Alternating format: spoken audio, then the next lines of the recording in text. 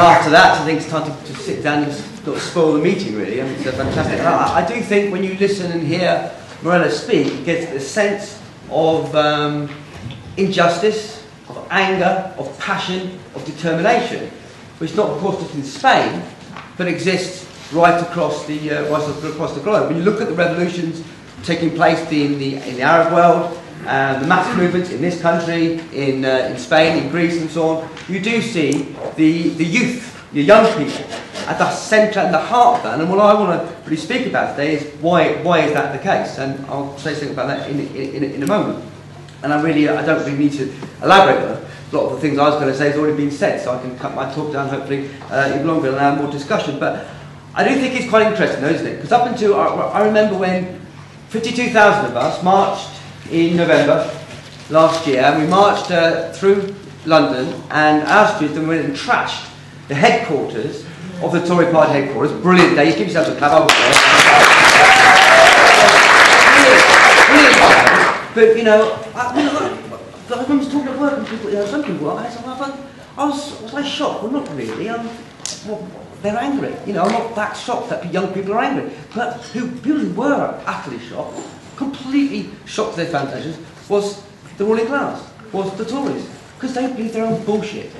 They believe, they believe that you lot, I mean, a lot of you lot, I'm, I'm a little bit older than most of you, I'm little bit, of course, right? But the most of the people I look in this room, what they believe is this. Number one, you're all bunch of uh, self-interested, uh, indulgent, apolitical people who really all you care about are your iPods, your looks, um, because all very beautiful people, of course, but you know, what you're interested in, and uh, not interested in politics at all. And they, I mean, they keep saying this time and time and time and time again, and they just got to believe their own bullshit. So if you have that in your head, this is what you think young people are. They're not interested in politics at all, and actually also they're a bunch of hoodlums. They go around beating up, mugging, killing, knifing, and all these other things they, they, they, they, they do. So when, literally, not only did they take the streets in the tens of thousands, but when they ended up smashing up to smithereens in such a heroic way, in such a determined way, with um, clearly in a political. And I remember the media afterwards talking about, well, these students trying to they're self-interested. They're all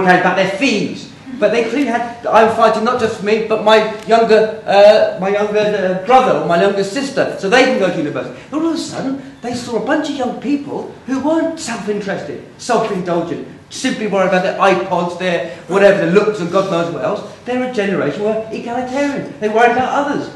They worry about equality. Where did this come from? They wonder. Now, biology, is it really surprising? I mean, this is it. You are a generation of people who have been shaped by continuous war, almost 10 years now. You've been shaped by environment, and you're a generation who alerted us to the problems and the worries and the fears and the real dangers of environmental catastrophe and you're a generation who materially are going to be worse off than your generation of, of parents before you. That is what has shaped uh, a generation of people. Now, you know, underneath the surface, there's all sorts of alienation, God knows what else, but sooner or later, that breaks through.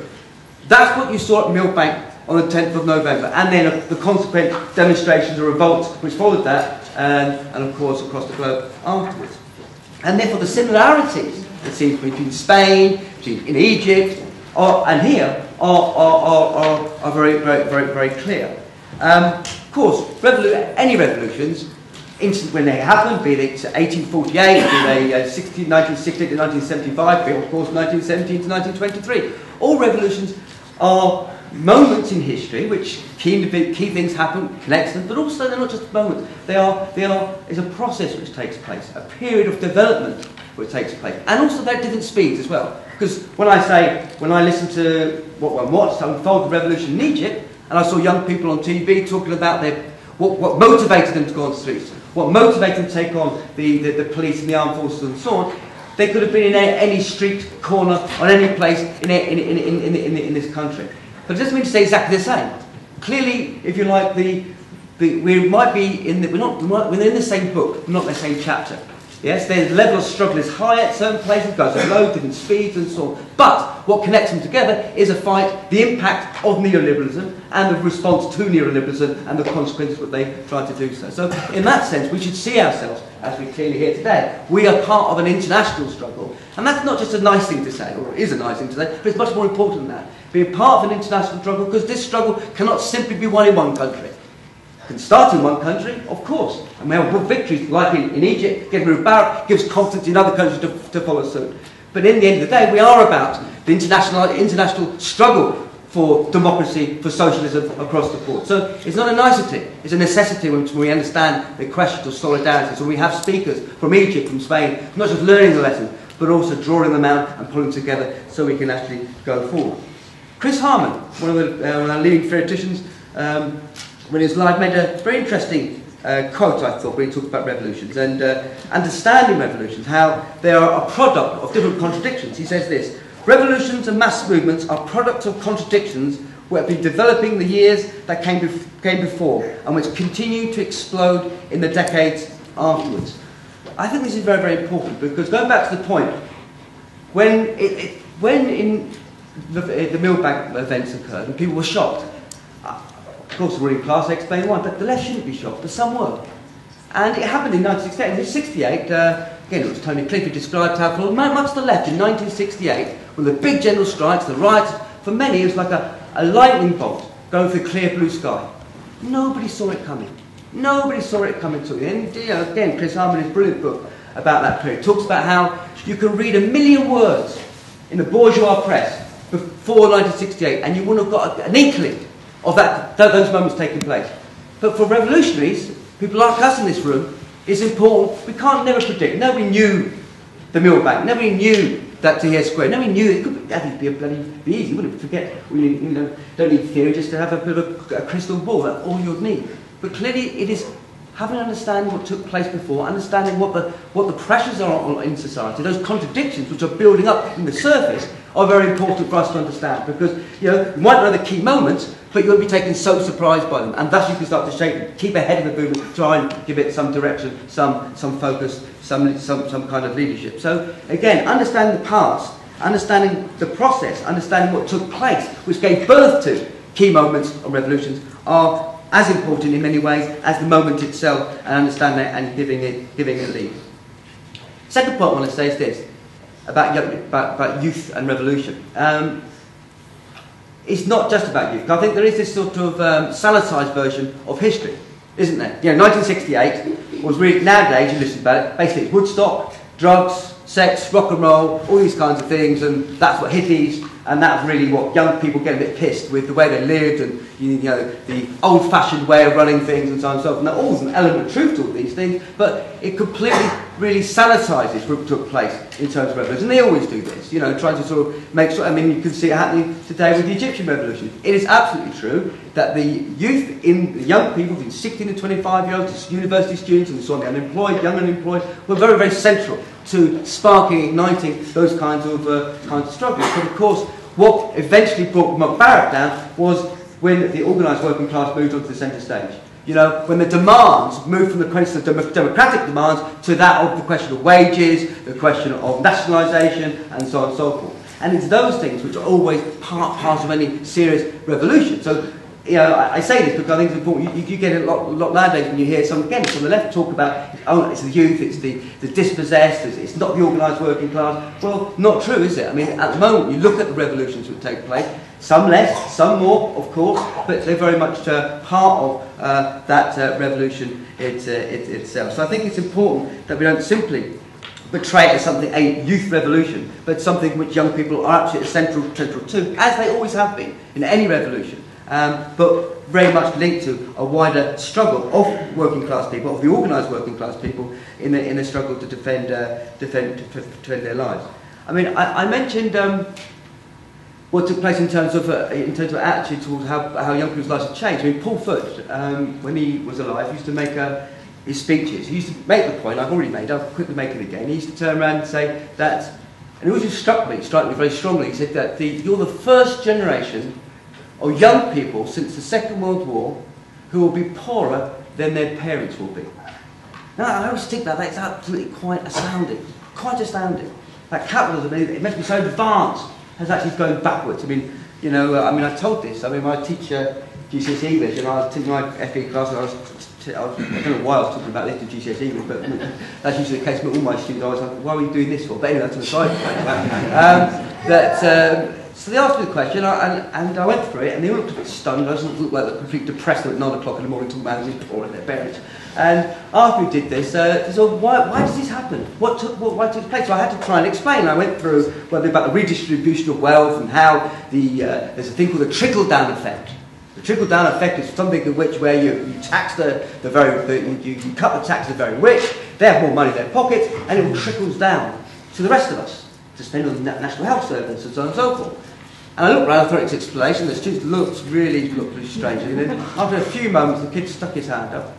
I said, yes. And he said, yes, sir. And you fell for that. I, no, I, of course I, not me, I all my life. But you know, there's an, an absurdity to the thing, isn't it? When you explain it in such a way, there's an absurdity to the situation where increasingly there is a clash between how people visualise the world and they, they, they see it now and understand the world, and the lunacy and the explanations we're given to understand why we're all poor. Oh yes, makes sense. No, it doesn't make sense. And that, that clash between so, so-called common sense or their ideas and the reality and the experience of ordinary working people's lives, and particularly young people's lives, is something which is clashing, and thus is, is the motivation for people to take the streets and do what they do in Millbank. And I think that has to be the, the, the starting point of, of understanding this. And therefore the system itself, going back to a more a bigger point, as Marx said, is when the, the, the social relations, i.e. classes in society, become a fetter, a straitjacket on the further development of the forces of production, like jobs and industry. It is i.e. that's because when society is based on accumulation, accumulation of wealth, where competition is built into the system, a minority ends up benefiting, benefiting from the competitive process.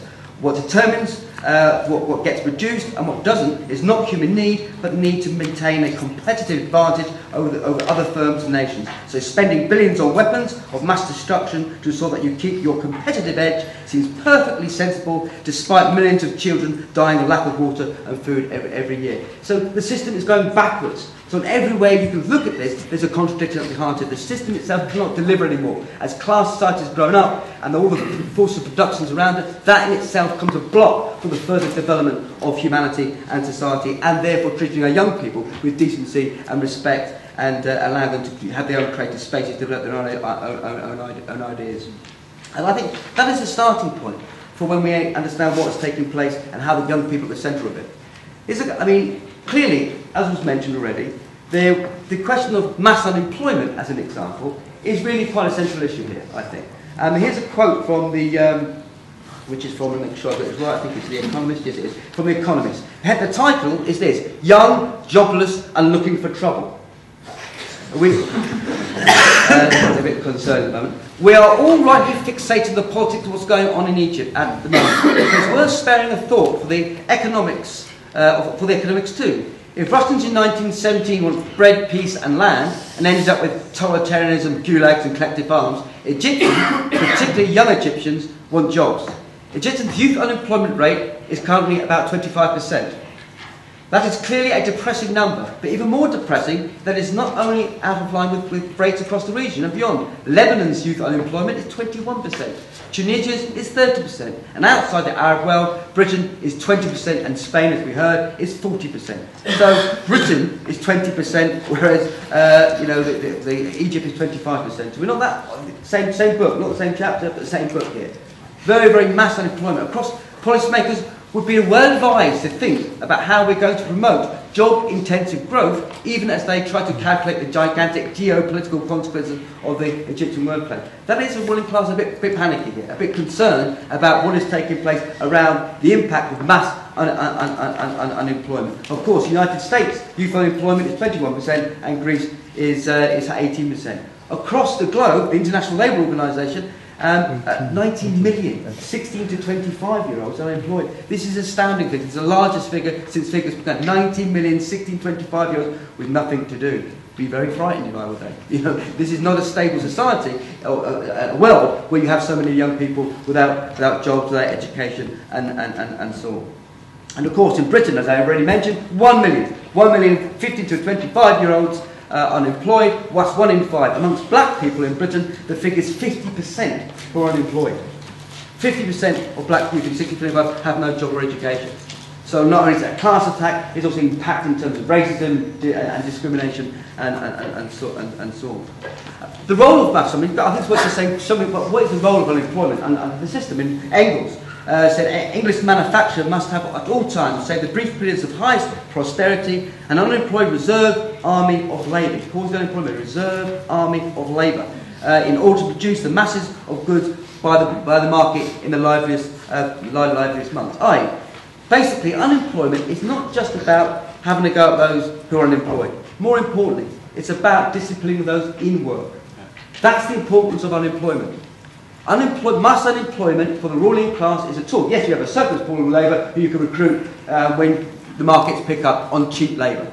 But, more importantly, it's about how it disciplines those in work in terms of making sure you're in work. You want more wages? There's a queue out there.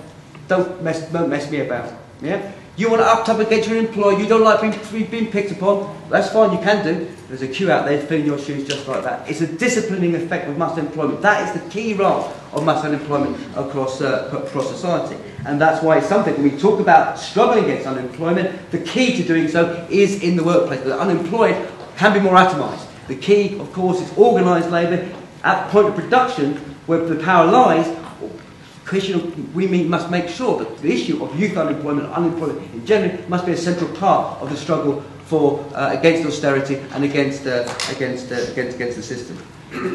so, as Foot says, the system itself cannot deliver full employment. I mean, it's interesting. When you look back to the 1950s, for example, when there was a, a, a capitalism was in boom, the longest boom it ever had since the 19, end of the Second World War, right through to the late 1960s, you had mass, you had mass, mass full employment. Everybody accepted to be jobs. Theories were written by the, the reformists uh, around the time.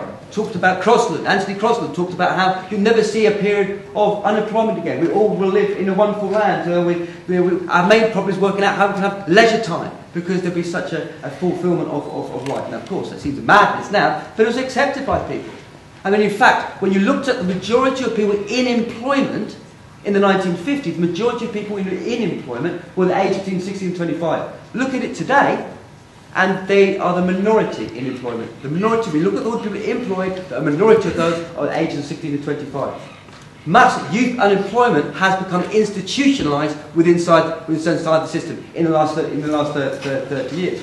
And of course, what they do is, is create, how do, how do we get to accept this? Well, they start creating ideologies and ideas. In, 19, in 1976, the Harold Wilson, the Labour politician, uh, Prime Minister, Prime Minister, Prime Minister, talked about how there were all sorts of uh, mass unemployment hit first time. It reached up to nearly one, one million, very victims. So we had to try and put across an idea. Well, how do you explain this? We know we're moving into a period where full employment no more. The system cannot deliver it. It's impossible for it to deliver it. So how do we accept it? At that time, people didn't un- unemployed. Factory shuts. It's not my fault. It's the employer's fault. But then, once unemployment occurs, big debates, think of the great education debate took place. It was wasn't great, it wasn't much of a debate, but nevertheless it was called that at the time, the great education debate, uh, in which Wilson lays the argument. He says, the problem is, is we're not skilled, our young people are deficient. Notice the word, deficient. They're deficient, they don't have skills. And who's to blame? Well, firstly, they are, of course, you're always individual, you're not to blame, so stupid and thick, you've got deficiencies. Then us, teachers, we're to we have a, he used the word anti-industrial bias into the classrooms. Oh, 1960, all that stuff, terrible attitudes towards the anti-industrial bias. And of course, parents, family life, they don't discipline their students, they, they affect their kids enough, they don't whack them enough, they hit them up enough. This is part of the problem, and, and so on. So they change the debate, the discourse, away from, it's not just about society, it's about individuals the problem. Of course, Thatcher and everybody else developed that as, as the period of 1980s followed. So the point I'm trying to make is this, that the key to mass unemployment, the system itself, are central, the mass unemployment has been a central part of um, the, the dynamic for young people to take to the streets. When you talk about revolution in these countries, in Spain and everywhere else, it is about level of expectation. You have an expect people say, well, will revolution occur in countries where it's modern and we have all these nice things, material goods and so on and so forth, unlike Africa where they don't, and you're more likely to fight back. But not necessarily. Not necessarily at all. In fact, in Western countries where you're rich and wealthy countries, you have an expectation of jobs, an expectation of uh, a welfare state, you have an expectation of free education. And when those are ripped back from you, that can create mass uh, convulsions against the system and thus lead to, to revolutionary transformation, beginning the revolutionary transformation of, of society.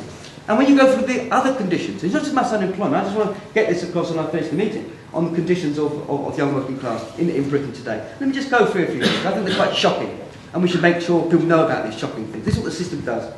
Homelessness. Joseph Rowntree Foundation survey has found 75,000 young people are statutory homeless. 75,000. They're statutory. Since 16, 16 to 19 year olds. That's ones who are on the books. Overcrowding. 500, 526,000. Over half a million young people live in overcrowded homes. In London, particularly where it's acute, 37% of all overcrowded homes people live in, in London.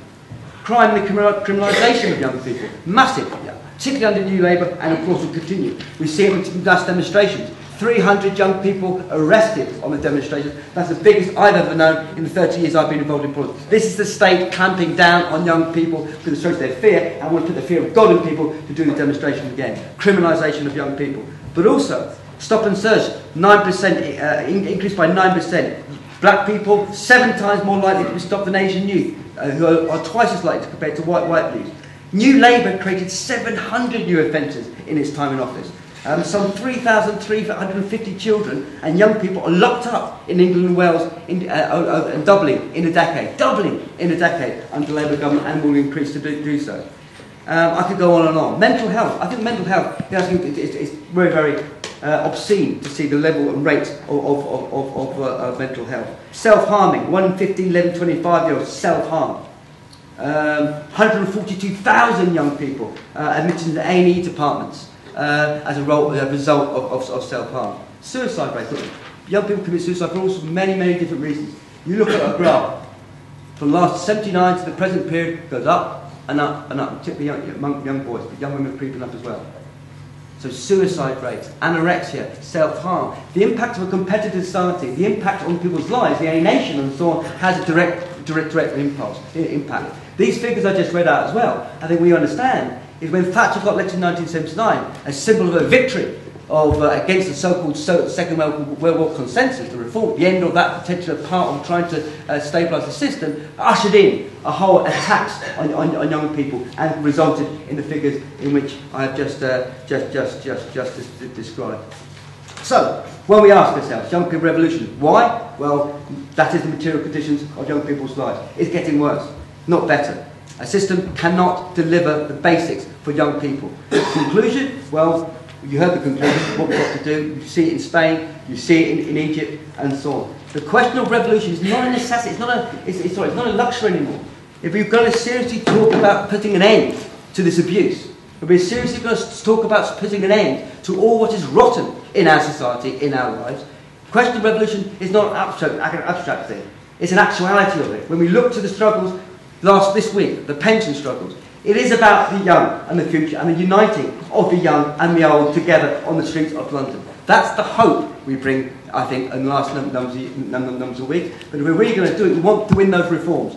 We need to be the defenders of what was always good from the 1945 Labour government, which ushered in all, the, all, the, all, those, all those changes. But we have to remember the governments and the political parties that, that, that, that, that said that they were the carriers of that tradition have long, long ago left that tradition behind and do not believe they can defend it. It is only us, those on the streets, those in the workplace, and the political tradition of a view and a vision of a society based upon not only people's needs, but one which allows the creativity and the dynamism which we saw at Millbank and other places, which we see in, in, in Madrid, and we saw in Tunisia, and we see in, in, in, in. That creativity can be unleashed, and God knows what we could do. That's our project.